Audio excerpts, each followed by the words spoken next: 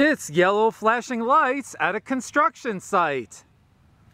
Not too shabby.